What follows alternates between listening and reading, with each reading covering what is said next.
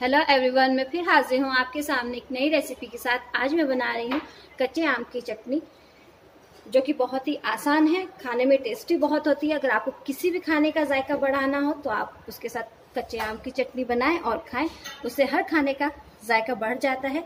इसके लिए सामान चाहिए हमें। मैंने दो कच्चे आम लिए हैं, जिनका छिलका उतार कर छील लिया है। थोड़ा सा पुदीना लिया है।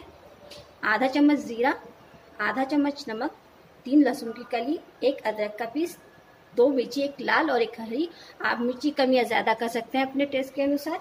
और चीनी, क्योंकि मैं खट्टी और मीठी चटनी बना रही हूँ इसलिए चीनी ऐड कर रही हूँ। सबसे पहले इन सब चीज़ों को लेकर मिक्सी के जार में पीस लेंगे।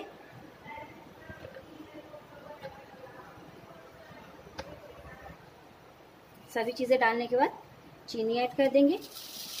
अगर आपको मीठा ना पसंद हो तो आप सिर्फ़ खट्टी चटनी बना सकते हैं। बहुत थोड़ा सा पानी ऐड करेंगे। क्योंकि ज़्यादा पानी ऐड करेंगे तो बहुत पतली हो जाएगी। लगभग दो टेबल स्पून पानी मैंने डाला है। उसके बाद भी अगर ज़रूरत लगेगी तो थोड़ा सा और ऐड कर लेंगे। ऐसे बारीक पीस लेते हैं।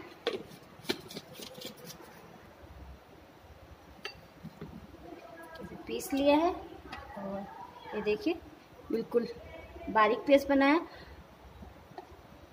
इसके बाद आप इसे किसी भी एयर टाइट जार में रख लें।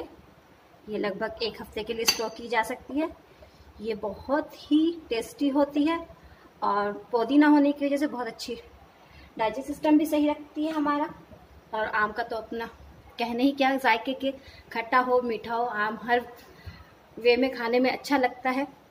आप इसे आचार पराठे के साथ खाएँ, सब्ज़ी के साथ खाएँ या राइस के साथ खाएँ, जिस भी चीज़ के साथ खाएँगे, उसका टेस्ट दुगना हो जाएगा। उम्मीद करती हूँ दोस्तों, आपको मेरी आसान सी रेसिपी पसंद आई हो, आपसे फिर मुलाकात होगी एक नई रेसिपी के साथ, तब तक के लिए अलविदा।